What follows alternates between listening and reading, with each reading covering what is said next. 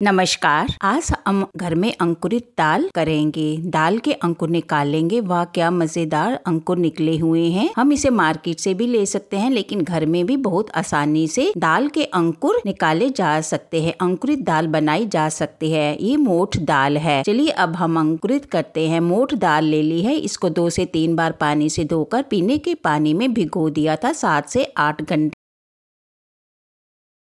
भिगोने से पहले दाल ऐसी थी छोटी, ब्राउन रंग की, इसे मोठ या मुठी कहा जाता है। सात से आठ घंटे के भिगाने के बाद इसका साइज़ दो से तीन गुना बढ़ गया है। इसे हमने डबल पानी में, दुगने पानी में भिगोया था क्योंकि ये दाल पानी को बहुत एब्जॉर्ब करती है। हमने इस दाल को अच्छी तरह से पानी से निकाल दिया, इसको छान लिया है।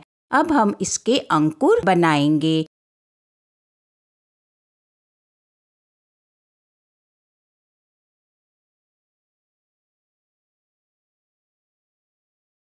एक स्टेनर या छन्नी लेंगे और बिगी हुई दाल को उसमें डालकर हल्के हाथ से उसको फैला देंगे। उसके बाद हम एक गीला कपड़ा लेंगे, तोलिया या सूती कपड़ा भिगा हुआ लेंगे और उसको दाल के ऊपर ढक देंगे। उसके बाद हम एक प्लेट लेंगे और प्लेट के ऊपर कटोरी रख देंगे। कटोरी के ऊपर छन्नी को रख देंगे और चारों तरफ़ से हवा लगने से इसमें अंकुर अच्छी तरह से आ जाएँगे। एक दिन के लिए इसको ऐसे ही रख देंगे। एक दिन के बाद जो दाल है, वाह, क्या अंकुर इसके अच्छी तरह से निकल आए हैं। इसे हम फ्रिज में रखकर भी एक हफ़्ते तक टाइट कंटेनर में रखकर यूज़ कर सकते हैं।